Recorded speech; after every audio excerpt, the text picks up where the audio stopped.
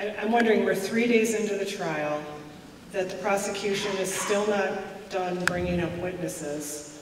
Um, We don't know how many more they might have, maybe you have an insight to that. What does that mean for Vernon's, for the defense?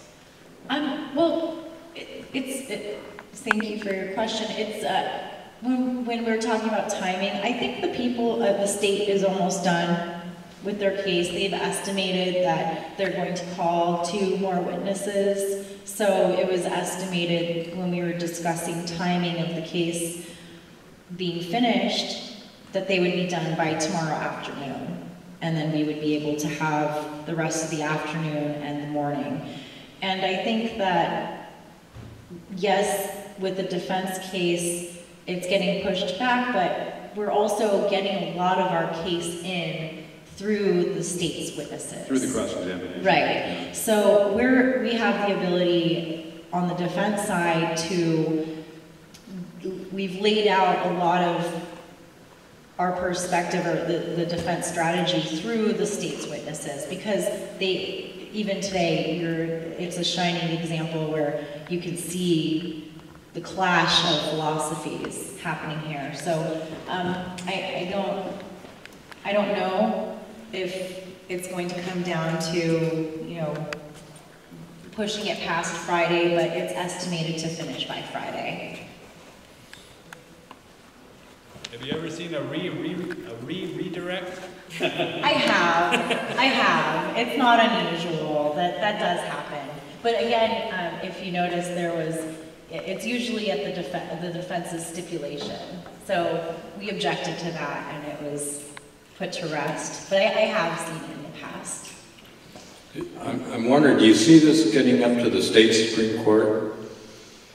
Well, it, you know, it depends um, uh, how the jury verdict comes in. I mean, you're, you're assuming that, that, that there's a, a guilty uh, verdict. Yeah. And, uh, Yeah, we don't want to make any assumptions. No, I'm just saying, but you, you would only, you would only have an appeal, you'd only have an appeal if there's a guilty verdict. Right. At some, po- at some, of, of, of one or more. Well, even so, e- even if there's a mistrial, that still means a retrial. A a mistrial would be a hung jury. Yeah, a- a- and that is also a possibility. There are, there are a variety of possibilities. but- Could, thi- could this case ever uh, be transferred over to the federal system at all? Or is this pretty much a state jurisdiction? I think right now it's state enforcement, and that's, it's a tactic that is being used throughout the jurisdictions. I've seen it in California. I don't know if there is a national push for the persecution of farmers, but it's getting harder to find food.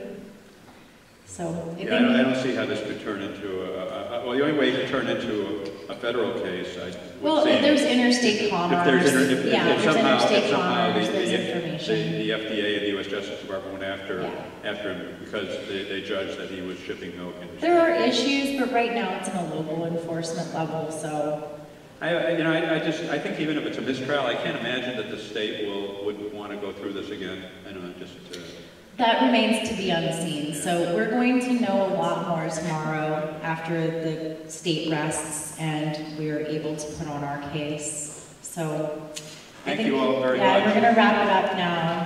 And thank you guys so much for being patient. Have a good evening. See you. Yeah, if you guys could just, again, just give another huge round of applause for Aja and the rest of the defense team. They're really doing an amazing job. Thank you. And for anybody who wants to, we're gonna um, convert the stage over to the movie screen now, and we're